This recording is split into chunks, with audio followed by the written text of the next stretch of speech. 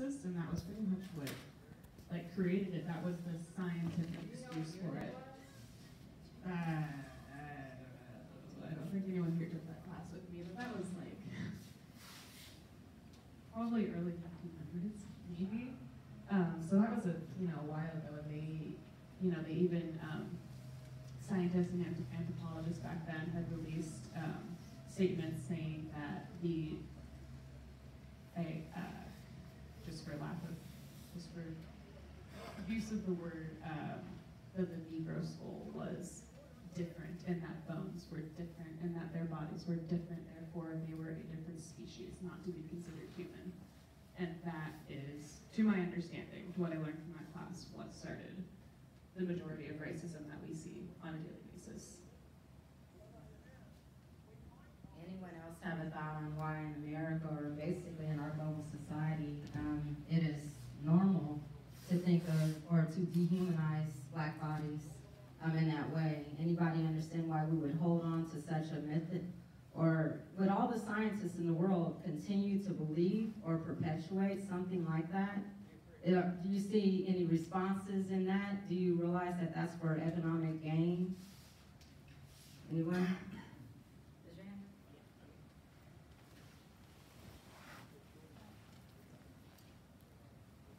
So I actually knew a little bit what you were talking about. Um, my freshman year of high You school. might have to talk closer to mine. Sorry. Um, my freshman year of high school, they made us write a four or five page race paper. Um, it was the mid late 1800s, early 1800s. They conducted the school studies in actually a lot of the countries, and they always found that like this country was more superior than the rest because our schools were bigger and stronger, and therefore they had more knowledge. Um, I feel like a reason to be scared of the color race would be because as a white person, we should be treated poorly, aw- more than poorly, like awful. In slavery, lynchings, you can name off all the things that we did on more than two hands. And um, I know you guys, I know personally you don't retaliate but I feel like a lot of people are scared of retaliation because what's the first thing you want to do when somebody else does something to you is you want to get back at them. And you sit there and you think through like, oh, that's not the best idea. But like we've also been talking about in our history class, history 201, not 203, um, they related a lot of colored and inferior people to gorillas. And gorillas, we don't entirely know how they react either. And I feel like they did that to dehumanize them, like you said, to profit off their labor, which is another thing we're talking about in history. And I wanted to say, do you notice that in society we have a lot of politicians and a lot of the basic people that are in the leadership of social justice movements, of policy, um, that are still white, like very privileged. And as a black woman, that someone who knows their history, who understands the systemic discrimination and the value of building economic basis from the discrimination instead of getting rid of the discrimination, um, I'm always wondering why, if we know that we're being miseducated, if we know that we've been misinformed, if we know that we're dehumanizing society just so that we can have these social values and industry um, where we have a patriarchy and that defines what role you play in society, um, why as minorities and why as minority allies, and I and I don't even know why I'm using the word minority because to me it seems as if it's like a minor priority, right? Like, okay, the minority is not as major or necessary as the priority person. So let's say that people that have alliances with minor priority people, um, you also have to realize that you have a privilege that we don't. Um, when we speak out against these aggressions, people tend to say that we're being uh, defensive or they want to lack, um, they want to devalue the statements that are being made or they want to reprimand by saying that it's an implicit bias. And my thought is that with the Constitution and the Bill of Rights and the civil liberties that we have in the function of being able to uh, file a complaint against the discriminatory act, that our lack of doing that has created a lack of value in who we are. It's kept us on a level of dehumanization because if there's no consideration in our contract that says that people are complaining about this being discriminated against, they're just dealing with it, then that means that there's really not a problem. But then again, when we protest and we say, hey, stop killing us, or don't take my child, or, you know, fuck the police because I'm tired of them abusing me, or I believe that the state system is set up against me, when we speak those things out, when women speak them out, when children speak them out, you have to understand that it takes a lot of courage to actually bring that up when in fact the world's order is around the oppression of your body. And so when we talk about the education that you're receiving, um, I remember when my kids were younger and they kept saying, why am I learning math? It's not going to help me, Mom. I'm not going to need math when I become an artist. And I was like, yeah, you are. You're going to be starving. Um, my son said, I don't need spelling. I don't need spelling. What am I going to have to write when I get older? You're going to apply that knowledge to change something in your world in order to change your life. Um, but when you're in school right now, when I, when I talk about bystander intervention, it's saying that right now, the statements that you make, the thoughts that you have, the programs that you want and you desire to create in the world, whether it's through your art, whether it's through your writing, whether it's through whatever industry you want to be in, um, those are appropriate values that are going to help us change and shift culture. But we have to be mindful that patriarchy and the systemic systems that are in place don't want that change to happen, but this is an appropriate time to make the change. Um, we don't have to wait until leaders are martyred to speak out about things that are uh, dehumanizing. Uh, we don't have to wait until a movement happens because that's at the at the death of someone. Um, we need to do those things now and in our day, daily lives.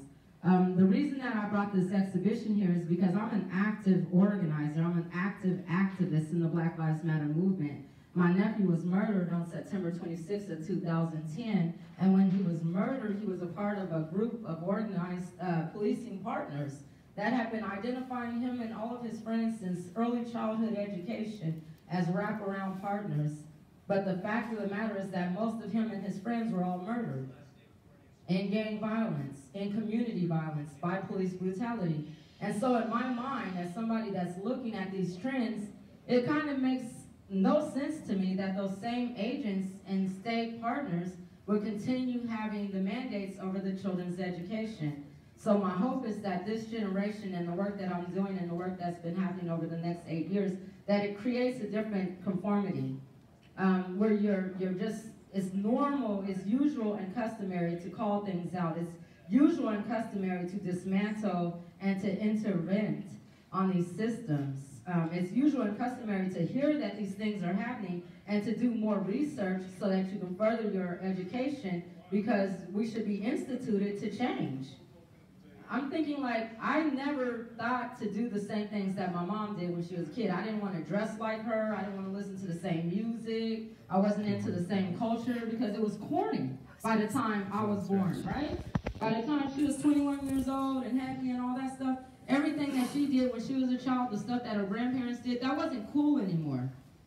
But we continue to comply with systems that were made before any of us and any of our parents were born, and they were made based on a racist system.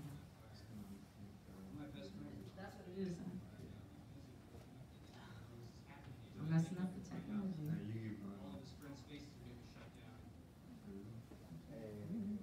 So, um, so just being mindful and being aware of these things and having the discussions in the classrooms shouldn't be the end of it.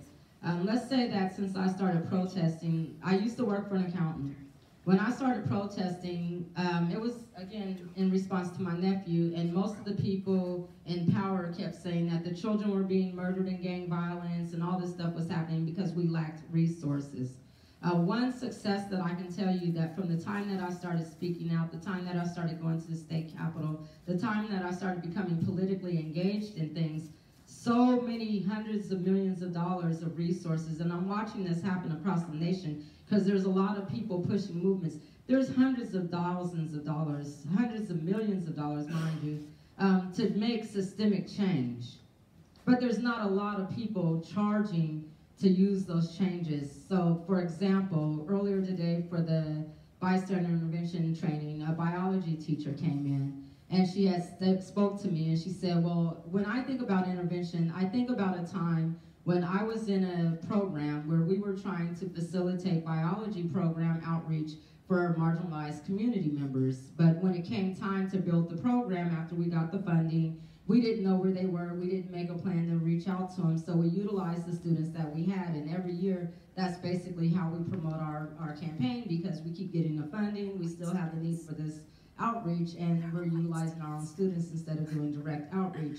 And she said she, she questioned that and she even argued against it but the people that had the proprietary knowledge of where to get the money, where to get the funds, how to incorporate that into the program at the schools, um, they were so used to having it go that way that they said, let it go. Well, I told her, I said, if you write an opinion editorial today, it might have not worked four years ago or two years ago, but if you write it now, and you do a call to action to industry and you say if you're instituting these type of outreach programs and you're not facilitating a direct connection with the marginalized communities that they're meant for, then you're doing the wrong thing. I said call it out the same way we're calling out on the Me Too movement. Call it out on the same way that we're talking about wage gaps. Call it out because right now, because of so many children that have died, because of so many women that are speaking out, because of so many bodies on the front line saying that they're allies, this is the perfect time to actually do something about it. And even if you're doing something that is not relative to protest, whatever you're doing, whatever institution, whatever industry you have, I bet you that policy is mandated about around a white supremacist structure. Dismantle it. Utilize the education that you're getting right now. Utilize the experiences that are happening in society right now to create something new in society. Add to it. Put what you have, your perspectives on it. Because our children are inheriting this mess. I bet my great great grandparents never thought that what was happening to them would continue to happen to their children. When the lynchings were happening, that was law enforcement and the KKK. Where we're learning about some of the killer cops that are out here, they have EK under their uniforms, European kindred. When we're learning about Jeremy Christian and Russell Courtier, people that were allowed to kill on our streets, is that they had been reinforced in the prison system to push that indoctrination. And they have been protected by that same system. They didn't get murdered or beat upon being arrested. But we have children on the board that got murdered even though they didn't have any weapons. Even if they were suspected. We have videos right now that shows Marines being chased and shot in the back, and then we can still comment in these articles that he shouldn't have ran from the police. Who dictated that capital punishment against someone who has warrants, someone who hasn't paid child support, a 12-year-old child with an air rifle in a park, a seven-year-old kid on their grandparents' couch, a woman on her way to work, but missed the a light on her car didn't turn on a signal. Who, who mandated that it's okay for us as a society to make their death by the state reasonable? I can't ever imagine, I shoot good, I know how to shoot. I can't ever imagine shooting someone who is running from me. I would be the biggest coward. I would be called a murderer. That would be homicide, right? But if I'm a law enforcement officer in America, that is not homicide. Even the Supreme Court just ruled against it and said that excessive force from our officers in America, in America, this week is not founded as a problem if you murder someone. We had a sheriff announce yesterday that if you kill a suspect, it's cheaper than if you allow them to live. I can tell you that when Quanice Hayes was murdered, only one officer, Andrew Hearst, shot at him and that he was reprimanded because if the other officers do not see a threat, then you can't feel threatened. And so this past week, when the brother down, downtown Portland got murdered, several officers extinguished the force because they have to go within their training. The training states that if you guys are in fear, you have to protect one another. And we can't let the suspect live because it costs the state more money. That means that the value of life doesn't matter. The way that we indoctrinate ourselves in believing that if you do what you're supposed to do, then you will not be hurt. Well, the system's not talking about you. The system is saying respect society, sus- respect